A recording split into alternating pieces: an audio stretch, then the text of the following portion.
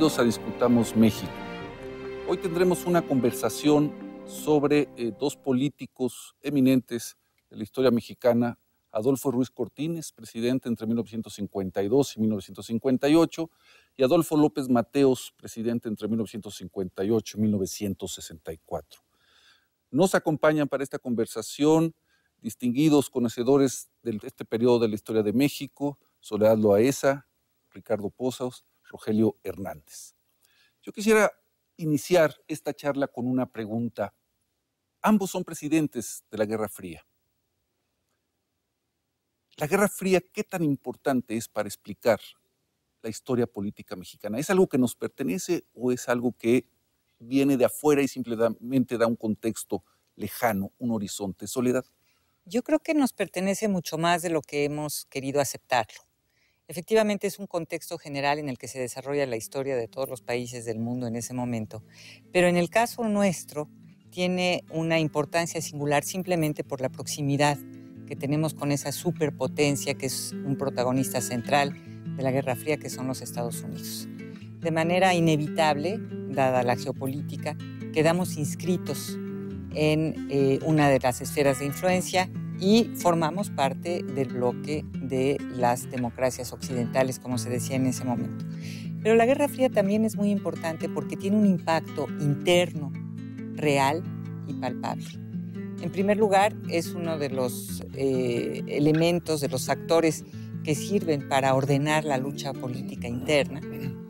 El gobierno del presidente alemán antes de Ruiz Cortines, pero el propio Ruiz Cortines eh, mucho con más contundencia que López Mateos, utilizan eh, el anticomunismo y el referente del anticomunismo es un referente real en su análisis y en, eh, en su análisis de, de los acontecimientos políticos, del equilibrio, pero además porque tienen que tomar en cuenta los intereses de la superpotencia.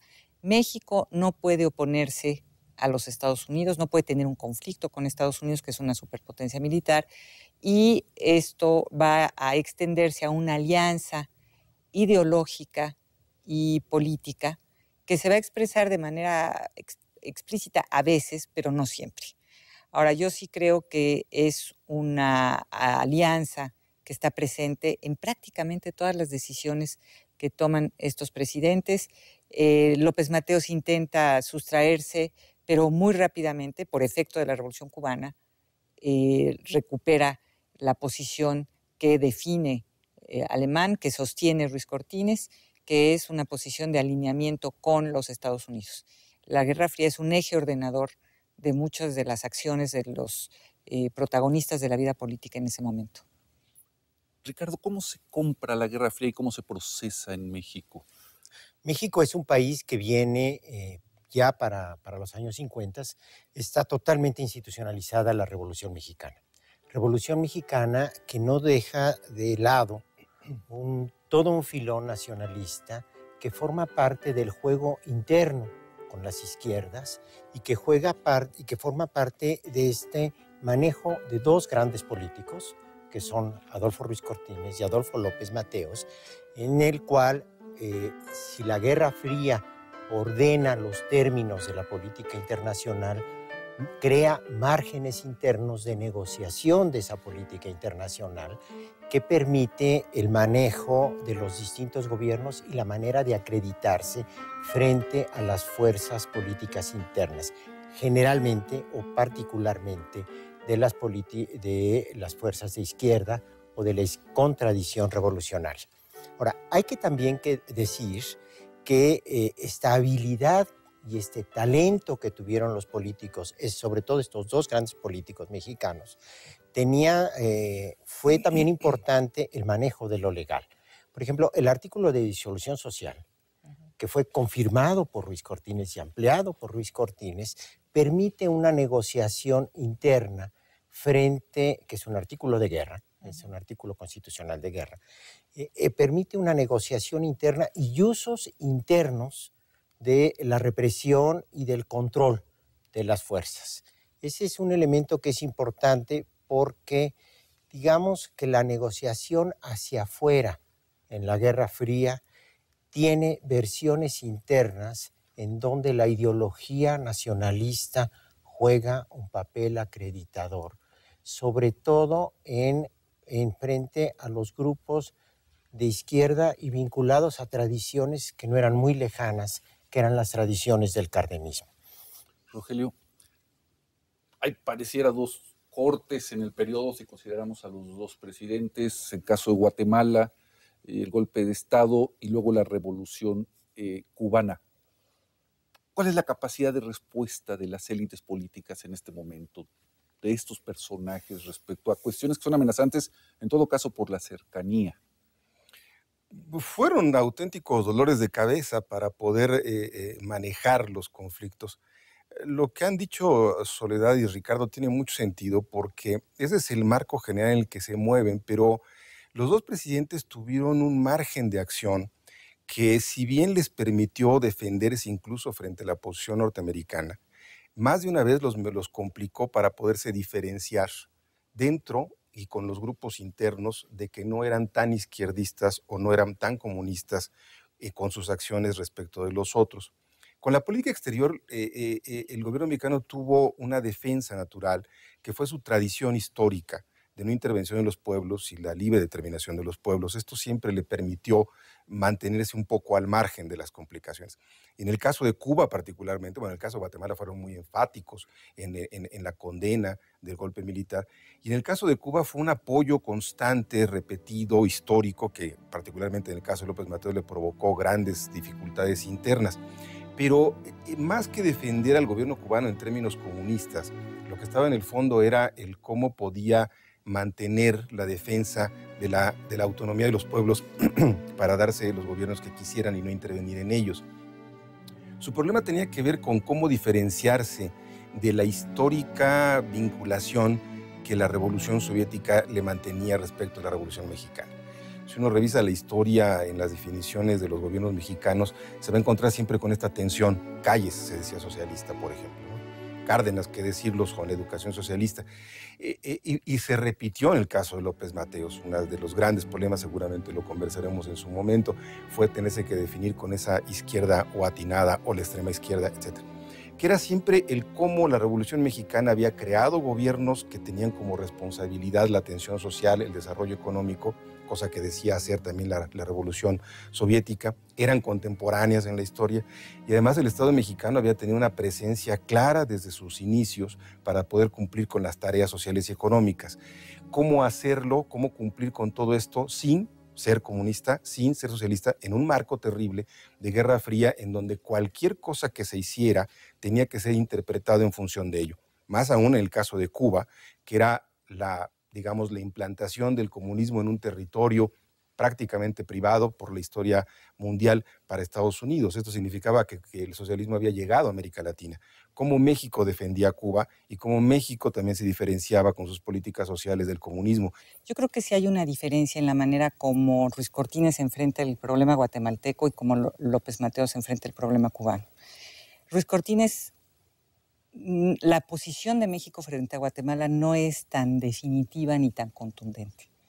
Incluso hay una eh, condena al comunismo en el hemisferio de parte del gobierno mexicano y esto provoca eh, bastantes tensiones entre el gobierno y las izquierdas. Incluso yo creo que la posición de estos grupos frente a la revolución cubana eh, se entiende mucho mejor si tomamos en cuenta el presidente guatemalteco. O sea, lo que realmente, eh, el, fenómeno, el acontecimiento que realmente propicia la aglutinación de las izquierdas eh, en torno a la experiencia revolucionaria es Guatemala antes que Cuba.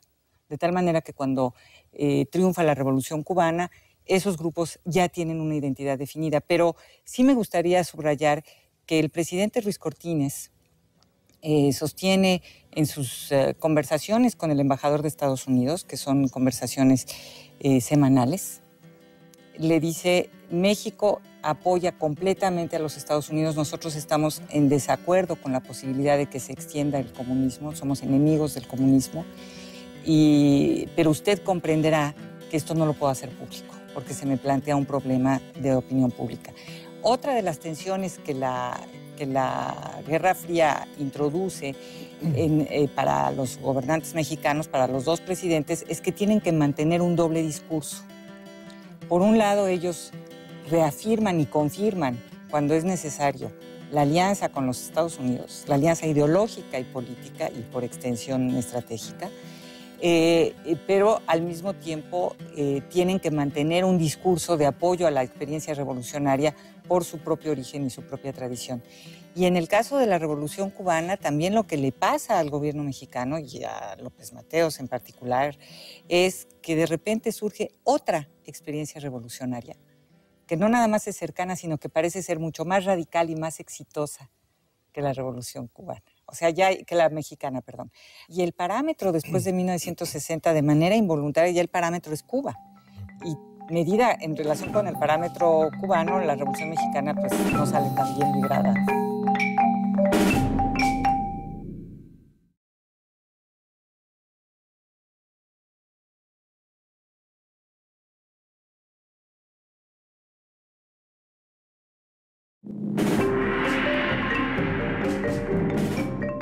Hay pareciera dos cortes en el periodo, si consideramos a los dos presidentes, el caso de Guatemala, el golpe de Estado y luego la revolución eh, cubana. Si uno revisa la historia en las definiciones de los gobiernos mexicanos, se va a encontrar siempre con esta tensión. Calles, se decía socialista, por ejemplo. Cárdenas, que decirlos con la educación socialista. Eh, eh, y, se repitió en el caso de López Mateos. Uno de los grandes problemas, seguramente lo conversaremos en su momento, fue tenerse que definir con esa izquierda o atinada o la extrema izquierda, etc. Y el parámetro después de 1960, de manera involuntaria, ya el parámetro es Cuba. Y medida en relación con el parámetro cubano, la Revolución Mexicana pues no sale tan bien librada, ¿no? dos cosas que me parece son importantes. En el caso de la Revolución Cubana, México no es ajeno. ¿no? incluso el, orden, la institución que organiza y ordena la seguridad interna del país tiene vínculos directos, incluso a través de los viejos militantes de la República Española. Se le da, México es un espacio en donde germina, florece la posibilidad de la revolución cubana y esto tiene que ver con tradiciones de liberación, de izquierda, de vínculos y en, la en los dos periodos hay una figura central que es el pater de la izquierda, que era Lázaro Cárdenas. Muy desestabilizador. Y, eh, pero es el, el gran articulador y el gran líder carismático de la izquierda mexicana. Y otro referente que tenemos que tener en cuenta, y es que la Guerra Fría ya para, para estos periodos tiene como referente importante el desarrollo del Estado benefactor. Es decir, la sociedad mundial, eh, sobre todo las sociedades democráticas, tienen un, un Estado muy vinculado no solo al desarrollo industrial, sino a la vinculación con los sindicatos y las organizaciones. Es interesante que algunos historiadores han considerado como la reconstrucción de Europa después de la Segunda Guerra Mundial es obra de hombres no precisamente jóvenes, sino que habían nacido eh, a finales del siglo XIX, Churchill, Adenauer, De Gaulle, etcétera, que habían vivido eh, todos los eh, desencuentros que trajo consigo la Primera Guerra Mundial, la crisis de 1929, la propia Segunda Guerra Mundial, y que sin embargo, un poco en la lógica de lo que decía Ricardo, pueden articular las necesidades de esta nueva democracia que se está fundando después de, la guerra mundial con una redefinición del papel del, Estado, por ejemplo, el Estado benefactor. me da la impresión de que Ruiz Cortines, que participa en, la revolución como pagador de una de las facciones revolucionarias, que conoce de cerca la guerra, parece adecuarse a esta imagen. Es, es un hombre relativamente grande para, para, otros estándares, que le toca ser presidente a partir de 1952, pero con una experiencia directa en un gran conflicto social, que es la Revolución Mexicana. ¿Entenderíamos así a, Ruiz Cortines como un veterano que racionaliza la experiencia mexicana? Yo creo que se mezclan dos tradiciones este, distintas que en ese caso simplemente coinciden. Eh, lo que tú acabas de mencionar respecto de la, importancia del Estado benefactor, bueno, ya lo dijo Ricardo y que tú lo has eh, repetido, del Estado benefactor para la reconstrucción y para normar la economía o solucionar problemas, en el caso de México es consustancial a la, construcción de las instituciones del sistema político. Si una, eh, eh, una, vez terminada la revolución y cuando se comienzan a construir las instituciones, la figura del Estado es fundamental para hacerlo. No hay en ninguno de los grandes líderes del momento nadie que ponga en tela de juicio la importancia del Estado para desarrollar la industria, la economía y cumplir con las tradiciones sociales. Yo recuerdo, por ejemplo, en, los años de, la campaña de Ruiz Cortín, perdón, de Lázaro Cárdenas, cuando uno de sus asesores, que era Ramón Beteta, claramente lo expone. México tiene que transitar hacia el desarrollo a través de la industrialización, no a través de la agricultura, y para eso tenemos que hacerlo a través del Estado porque no hay iniciativa privada que lo haga. Es decir, el Estado está presente desde el principio. La evolución incluso de cómo se va a definir esa izquierda tiene que ver con las modalidades que va adoptando la figura del Estado no democrático o totalitario, como ya se le decía entonces. Pero en el caso de México, el Estado es consubstancial a la idea de la, de la estructura del sistema político mexicano. Bueno, eso es absoluto, porque incluso eh, es todavía más explícito el intervencionismo estatal eh, definido de manera más explícita en el, durante el gobierno de Miguel Alemán. Ahí es clarísimo. Entonces, lo que hace Ruiz Cortines simplemente es mantener y continuar con una serie de políticas que efectivamente yo creo vienen definidas desde la Constitución. Entonces, son previas a la experiencia del Estado benefactor. Lo que, lo que pasa es que yo creo que después de la guerra es mucho más sencillo que ese intervencionismo estatal no se ha visto con tantas suspicacias como va a ocurrir más adelante. Pero eh, si hay un consenso en la posguerra, en el mundo, que tiene que ver con el intervencionismo estatal es absolutamente indispensable para garantizar el crecimiento económico.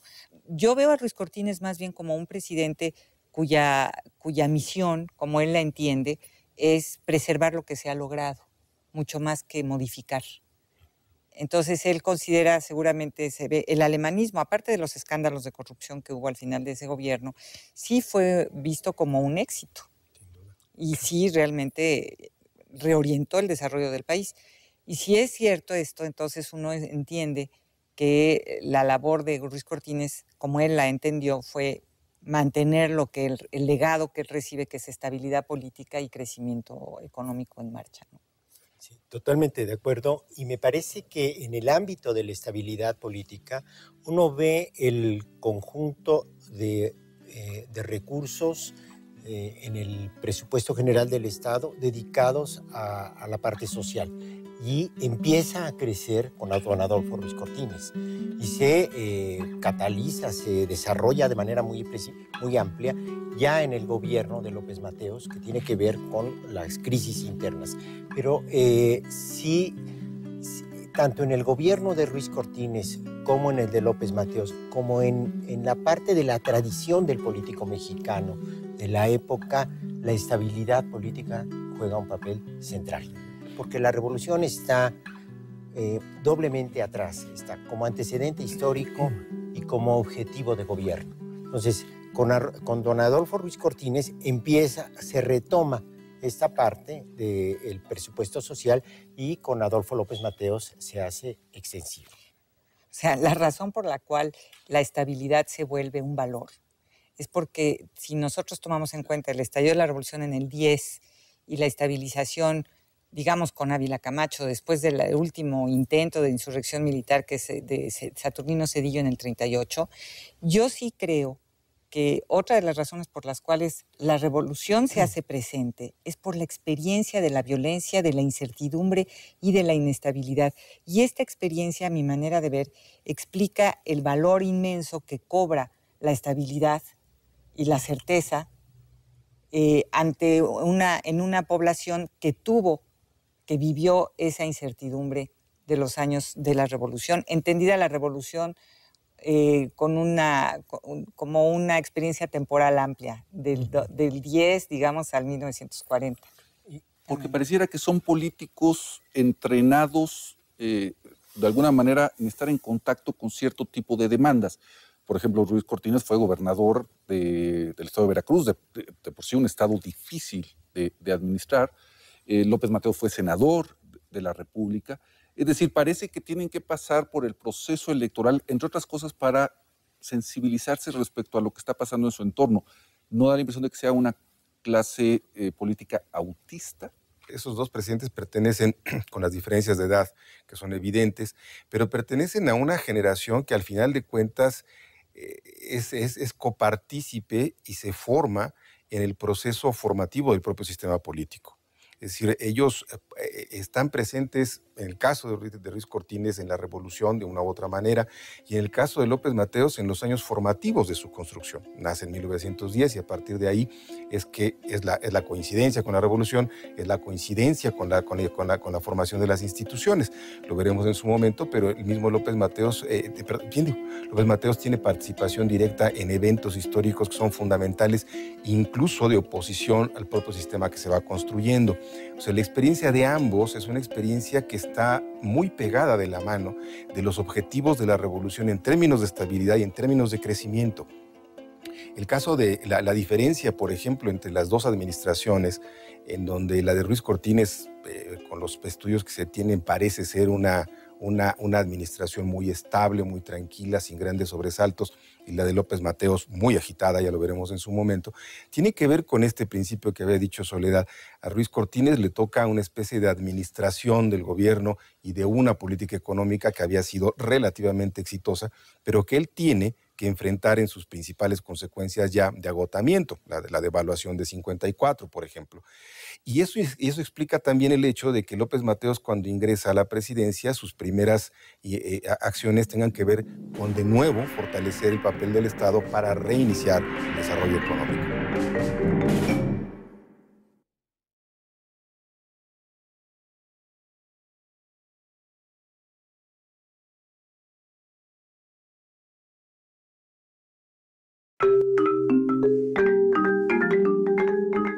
Esas, eh, esos dos presidentes pertenecen, con las diferencias de edad que son evidentes, pero pertenecen a una generación que al final de cuentas eh, es, copartícipe y se forma en el proceso formativo del propio sistema político. La, la, diferencia, por ejemplo, entre las dos administraciones, en donde la de Ruiz Cortines, eh, con los estudios que se tienen, parece ser una, una, una, administración muy estable, muy tranquila, sin grandes sobresaltos, y la de López Mateos muy agitada, ya lo veremos en su momento. ¿Cuánto vale el estilo personal de gobernar que decía eh, Daniel Cosío Villegas? Es decir, ayudan a entender también cuáles son las prioridades políticas, estratégicas de una administración, o es un elemento más bien eh, marginal. Si algún presidente de la República corren leyendas sobre su sentido del humor, sobre su capacidad de improvisar, etcétera, sobre Ruiz Cortines. Y sobre López Mateos corren otras, digamos, su, su, vocación por viajar, su gusto por la, por la fiesta y las mujeres, en fin. ¿Qué tan importante es para entender la historia política mexicana?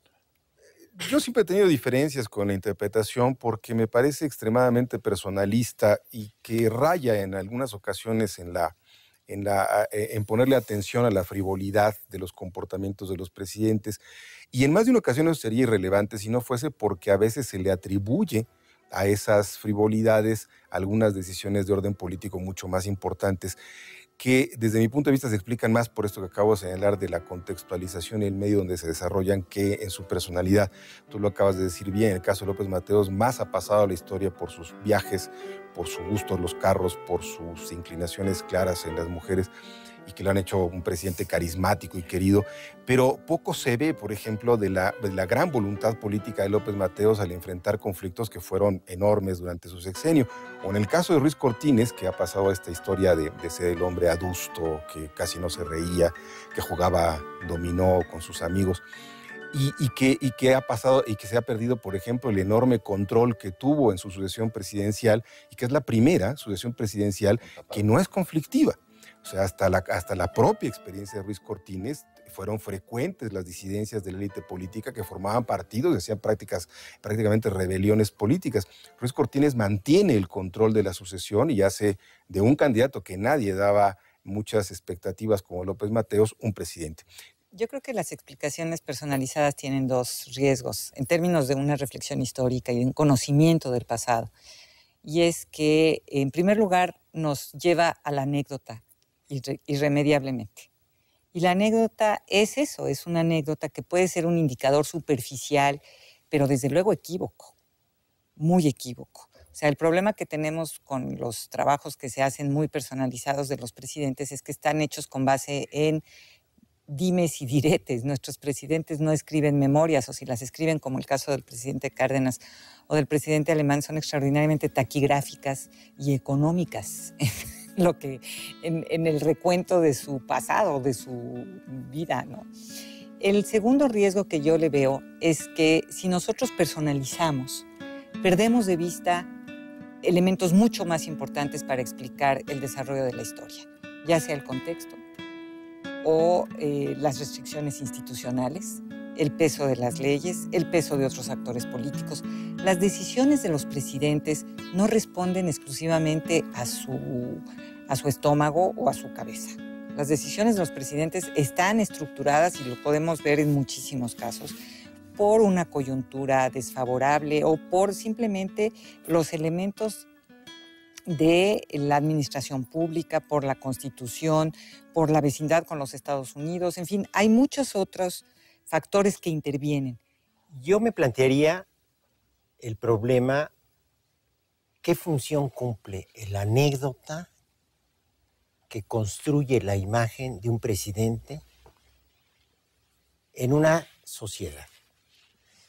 Yo diría, en el caso de Ruiz Cortines y de López Mateos, es una sociedad pequeña, con vínculos muy fuertes institucionales, bastante corporativizada, con elementos en donde la anécdota tiene una modalidad de representación de una figura presidencial a la que se le atribuye y se le ascribe incluso elementos carismáticos. ¿Por qué yo oí de, Adolfo López Mateos eh, eh, dichos como el que le preguntaba a su secretario particular en la mañana, que me toca, viaje o vieja? ¿No? Es decir, ¿y ¿qué función juega el anécdota eh, en la vida política y en la idea de proximidad con el presidente. Eh, y ese es un elemento importante, porque detrás del ejercicio del gobierno está la contraparte del gobierno, que es la obediencia. Es decir, todo hombre político tiene que plantearse el problema central de la dirección institucional, que es la capacidad de los, su capacidad para mantener la obediencia de los suyos y de los otros. No podemos subsumir la historia en el anécdota, pero tendríamos que ver qué papel social y político juega en la representación social del presidente, en el presidencialismo, la anécdota. Pareciera que eh, eh, Ruiz Cortines ha pactado con algunos de los hombres fuertes regionales. Eh, buena parte de su presidencia quizás explique en que logró tener alianzas con Leobardo Reynoso en Zacatecas, Santos en San Luis. Y las anécdotas rodean muchísimo las relaciones entre Ruiz Cortines y estos caciques regionales, estos hombres fuertes. Por otro lado, López Mateos parece haber roto con este tipo de cacicazos o intentar romper con ellos desde muy el principio de su, de su presidencia. Es decir, pasamos del hombre a cómo está estructurado el sistema formal y también informal. ¿Qué diferencias hay entre Luis Cortines y López Mateos en este sentido? son, son, son varias. Ruiz Cortines era un hombre formado, claramente, cuando, cuando apenas López Mateos hacía sus pequeñas, sus incursiones en política. Esto no solamente es una diferencia, la otra diferencia tiene que ver con qué enfrentaron ambos. Eh, Ruiz Cortines, como decía, es, un gran administrador de la presidencia, no tiene grandes conflictos, no tiene que que enfrentarse a grandes, excepto en el último año de su gobierno, en donde la, la crisis económica provoca una enorme cantidad de conflictos sociales que más o menos logra controlar, y yo diría que con mucho éxito al final en, su último periodo. López Mateos le toca un periodo muy, mucho más difícil.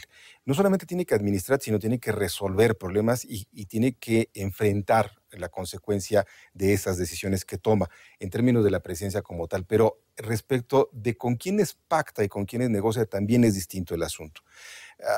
Ruiz Cortines, efectivamente, eh, hay pocas evidencias porque no hay muchos estudios en el, en el tema todavía, pero Ruiz Cortines apoya en mucho en los poderes todavía regionales muy fuertes. Tú mencionaste a dos que son clarísimos, Santos en San Luis Potosí, Reynoso en Zacatecas, si uno lo puede extender más. El mismo Gilberto Flores Muñoz tiene la fama clara de haber sido uno de los hombres fuertes en Nayarit, formado al amparo nada menos que del propio Santos. Entonces, Ruiz Cortines se apoya mucho en esto y también en mucho el, hecho de que proteja a López Mateos o que decida a López Mateos tiene que ver con la fuerte presencia de estos poderes que tratan de influir en la, en la decisión presidencial. Y esto le va a costar a López Mateos mucho. Si uno tiene que creerle parcialmente a las anécdotas que cuenta Santos en sus memorias de la campaña de López Mateos, es claro, por ejemplo, cómo no era de su agrado y cómo tuvo que enfrentarlo en más de una ocasión. Es más, la, la famosísima frase de López Mateos de, los que, de que los caciques duran hasta que el pueblo lo quiere, lo hace exactamente enfrente cuando, cuando hay una manifestación en contra de Santos que por supuesto no le agrada. Y hay otras que no son tan visibles como ella, como el, el, grave conflicto en Guerrero, eh, con, eh, no recuerdo el nombre, Cervantes, si la memoria no me falla, del gobernador, que tiene una enorme repercusión militar y que López Mateos no le tolera que, que, que, que, provoque la inestabilidad en el Estado. Y eso evidentemente contrasta con la figura de Ruiz Cortines. Evidentemente no podemos saber qué hubiera hecho él en esas condiciones, no se trata de ello, sino de cómo las condiciones que le toca a cada uno obligan a una experiencia y un manejo distinto de las acciones políticas.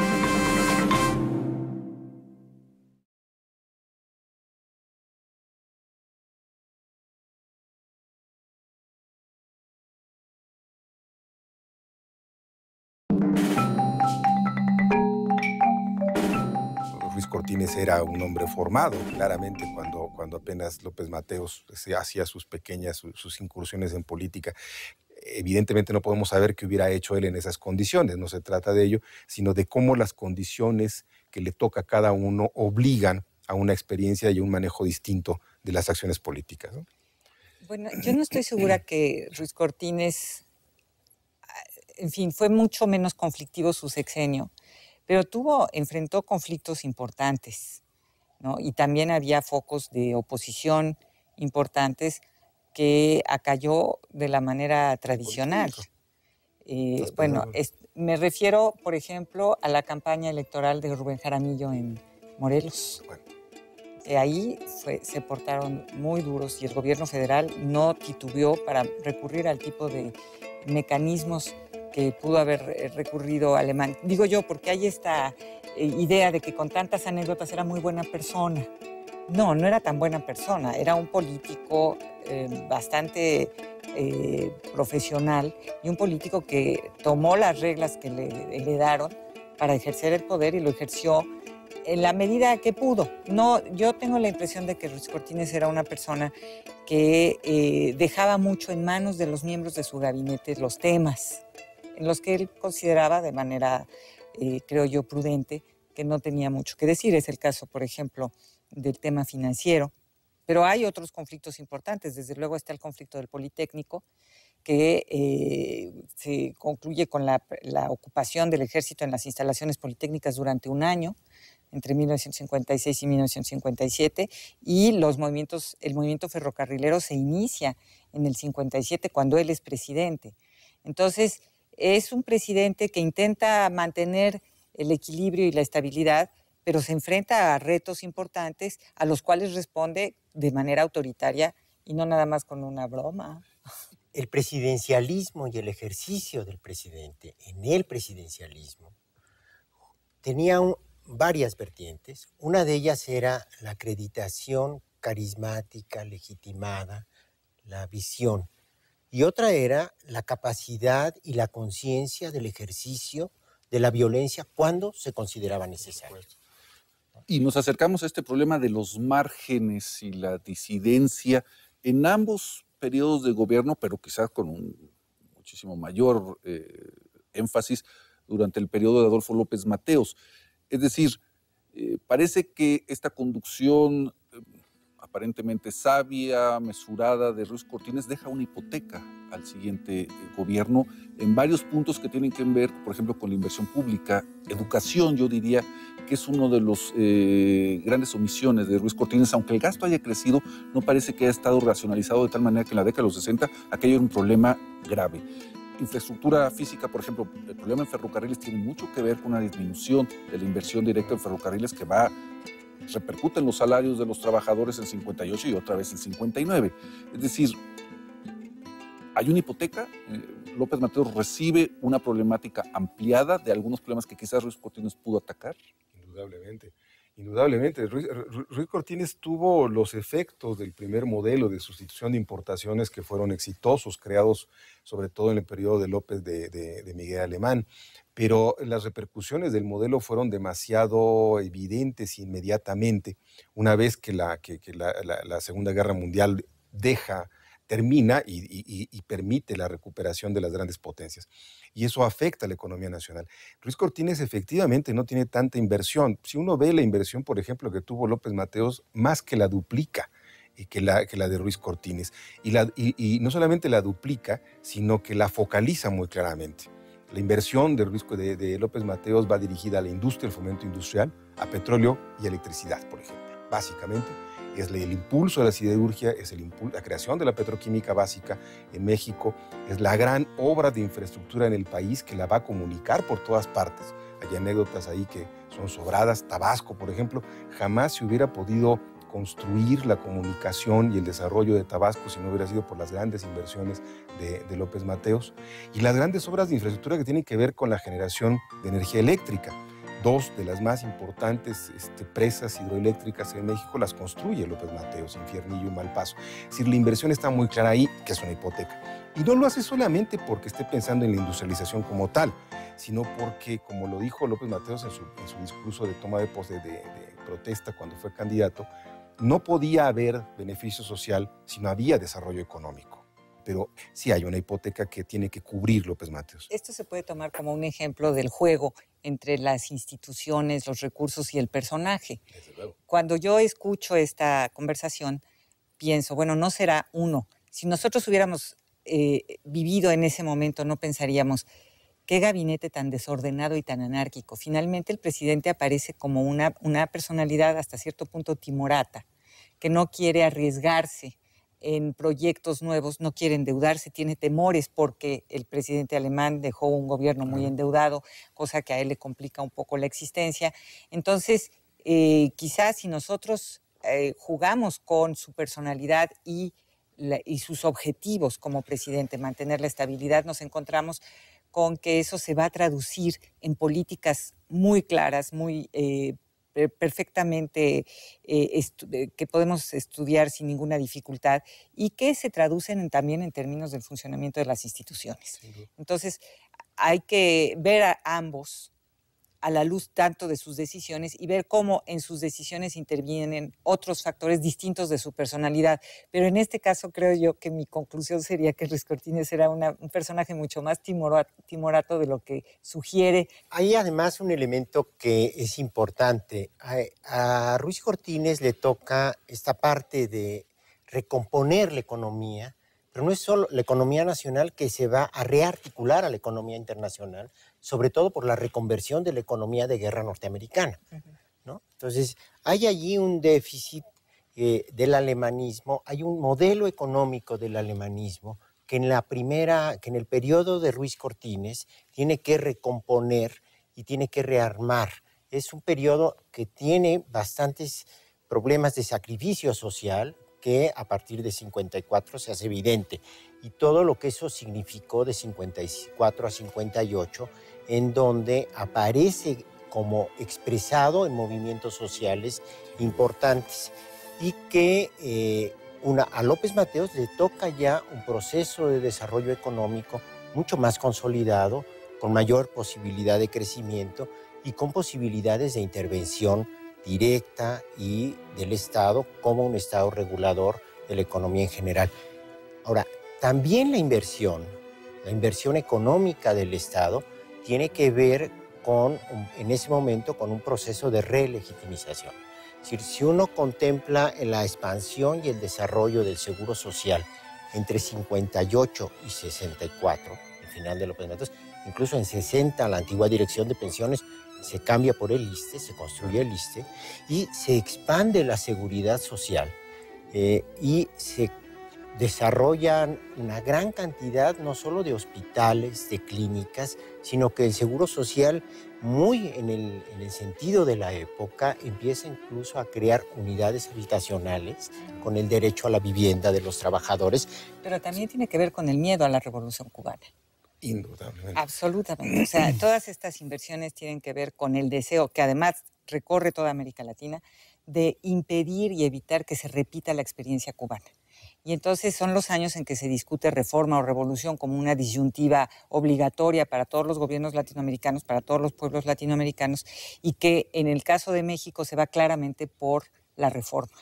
Y lo que está presente en el ánimo de todos los miembros del gobierno de López Mateos es justamente el fantasma de la revolución cubana y de una eh, desestabilización social producto de la protesta de la protesta por las condiciones eh, desfavorables de un porcentaje muy alto de la población y entonces la necesidad de acallar esa protesta, de prevenirla, de evitarla con este tipo de medidas y de políticas de expansión de la responsabilidad social del Estado.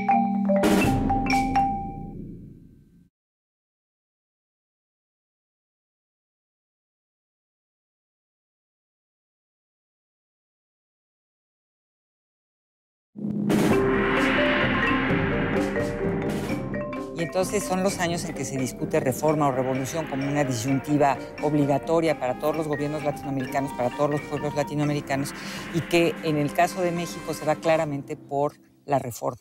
Iniciamos esta conversación, perdón, con la idea o el impacto de la Guerra Fría en, la política mexicana. Yo tengo la impresión que la represión del gobierno de López Mateos, por ejemplo, la huelga ferrocarrilera de 59, y el, incluso el asesinato de, Jaramillo, parece que ya nos hablan de otra cosa, de otra manera de solventar eh, el conflicto.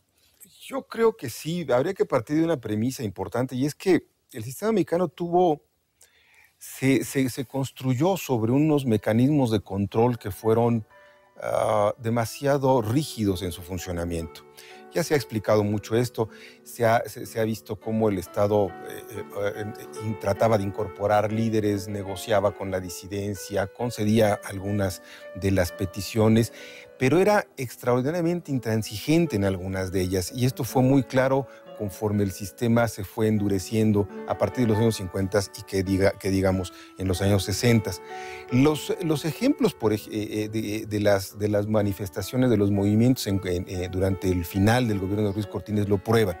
Si la memoria no me falla, hay tres, cuatro movimientos en ese periodo que va de enero de, de, 58 a diciembre de 58. Telegrafistas, por ejemplo, petroleros, dos secciones de petroleros, el CENTE, constante, los normalistas, y la tercera, la cuarta, los ferrocarrileros, indudablemente. En todos los casos, el tratamiento de Ruiz Cortines es singular y muy típico del sistema. Concede prácticamente todos los aumentos salariales que le piden, pero es absolutamente intransigente con la autonomía sindical. Al movimiento revolucionario del magisterio los encarcela, líderes que va inmediatamente, por cierto, a poner en libertad López Mateos en cuanto es presidente. No les permite a, este, algunos otros acciones de otra naturaleza, pero a los petroleros también los reconoce. Les reconoce a las dos secciones el, liderazgo del cual se va a encargar de expulsarlo la Dirección Nacional de Petróleos, pero no el presidente. Y el caso singular que me parece que hay que subrayar es que en el movimiento ferrocarrilero, Demetrio Vallejo es reconocido no solamente se, concede el aumento salarial al movimiento ferrocarrilero, sino se le reconoce la victoria al líder sindical que quería la mayoría de los ferrocarrileros. Si la memoria no me falla, y aquí mis colegas me van a corregir si es que, si es que estoy equivocado, el movimiento ferrocarrilero termina su primera etapa exactamente en estas condiciones. El presidente López Mateos recibe al líder Demetrio Vallejo, y esto es lo que va a provocar un segunda, una segunda oleada de movimiento que va a ser, que va a poner contra la pared a López Mateos. Dejaremos, si, lo quieres, para, un momento lo de Jaramillo, que es la peor parte del gobierno de López Mateos, sin duda. Yo quisiera terminar con el final del sexenio de López Mateos. Hay una experiencia que me parece condensa lo que eh, la pregunta con la que se inició eh, esta conversación. Y tiene que ver con el proceso electoral de López Mateos y la candidatura de Díaz Ordaz y el surgimiento del Frente Electoral del Pueblo, que es una organización que condensa todas estas tradiciones de izquierda, Danson Palominos, de la CCI, los vínculos del Partido Comunista y todos estos grupos que eh, se, unen, eh, incluso el, el, Movimiento de Liberación Nacional no era un movimiento que tenía participación política directa, pero eh, muchos de sus dirigentes participan en el Frente Electoral del Pueblo.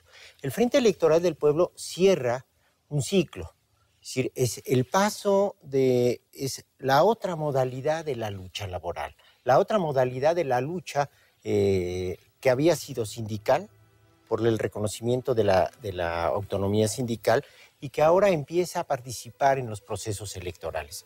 El frente es reprimido, tiene muchas represiones, hay mucho, mucha violencia incluso del gobierno de López Mateos al final del periodo, pero lo que es muy interesante es en ese momento eh, se crea, hay un, hay un conflicto, hay un conflicto frente a Cuba en, al final, ¿no? En 60, eh, al final del periodo, ¿no? Eh, y el frente electoral, la izquierda, que estaba en el frente apoya al gobierno de López Mateos en solidaridad con Cuba y posterga toda aquella experiencia del Frente Electoral del Pueblo, que quizás es la primera experiencia importante de la participación de la izquierda en los procesos electorales. Yo creo que el Frente Electoral del Pueblo sufrió un golpe mortal el día en que el general Cárdenas reconoció y aplaudió la candidatura de Gustavo Díaz Ordaz a la presidencia de la República. Pero lo que creo que sí eh, llama la atención es que el sexenio del presidente López Mateos es un sexenio plagado de conflictos.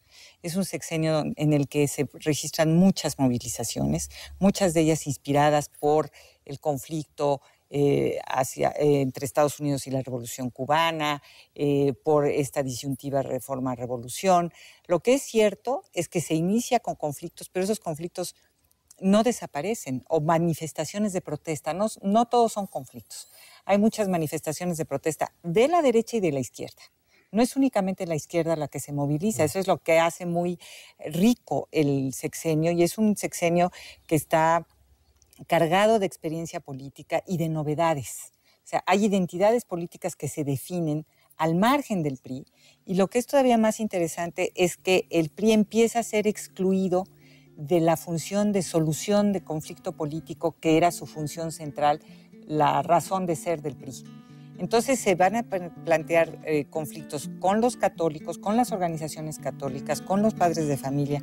Empiezan a formarse las organizaciones empresariales de, eh, de corte meramente político, como es Consejo Mexicano de Hombres de Negocios. Hay una primera eh, organización que se forma en 1961 que va en esa dirección y estos grupos empresariales ya están manifestando también su desacuerdo con el control de la participación y con el control de la representación. Todo el sexenio está plagado de conflictos en todos los ámbitos de la vida social, en el campo, en, en, la, en los sindicatos, entre las clases medias. Es un México en efervescencia el que el México de 1964 que López Mateos le entrega finalmente a Díaz Ordaz. Bueno, pues en este contexto muy agitado de la primera mitad de la década de 1960, debemos terminar. Muchísimas gracias a nuestros invitados, Soledad Loesa, Ricardo Pozas, Rogelio Hernández, y hasta la próxima.